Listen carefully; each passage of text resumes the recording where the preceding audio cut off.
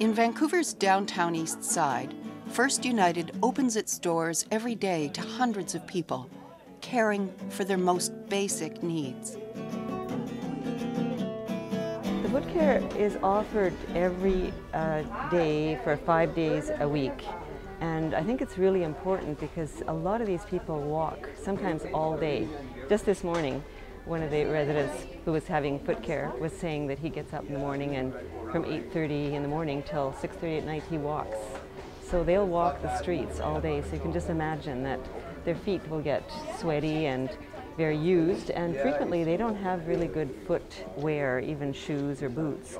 So coming to soak their feet in hot water when they're with Epsom salts and tea tree oil is really soothing for them.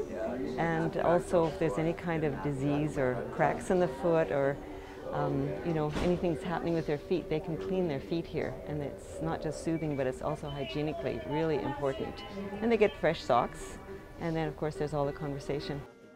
But mostly what we do is just chat with them and talk about how their day's going and, um, you know, where they, maybe where they spent the night. And it's, it's real. Yeah. There's, a, there's a real contact often. And some of the men, especially men, they, keep, they, they come every week and we see them regularly on Tuesdays. So we get to know them by name and they get hugs, we get hugs. I, I, do feel a bit of a part of the community and there's three of us on Tuesday mornings and we've, uh, the three volunteers have also built a camaraderie. Mm -hmm. So um, yeah, it's, it, it's, it's definitely a, an important circle.